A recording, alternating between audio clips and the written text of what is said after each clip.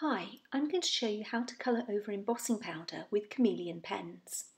Colouring over embossing powder will smudge the image and clog the nib of your alcohol pen. I'll show you how to avoid this problem.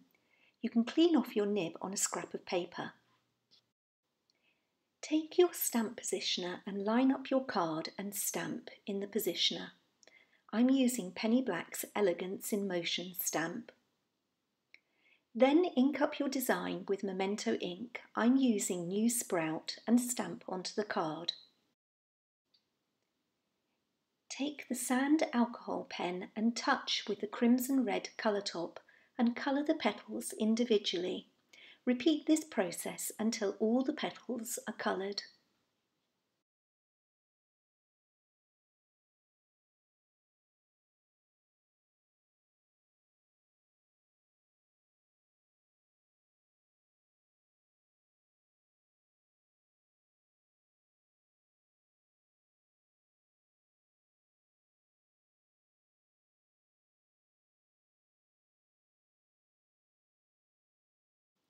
Then take the green apple pen and place the mixing chamber on the bullet nib for 5 seconds and colour the individual leaves.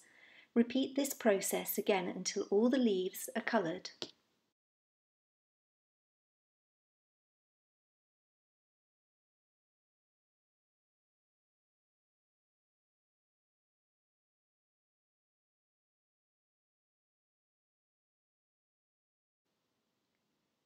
Touch the crimson red colour top to the sand pen to colour in the bow using the bullet nib end.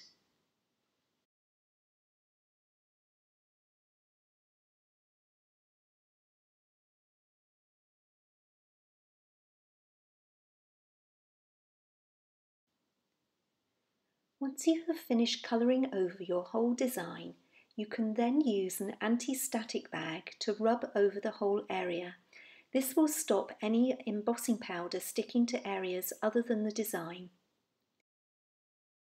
Place your design back in the stamp positioner and ink up your stamp with Versamark ink and stamp again. Then sprinkle the image with black embossing powder, tap off any excess and then heat set.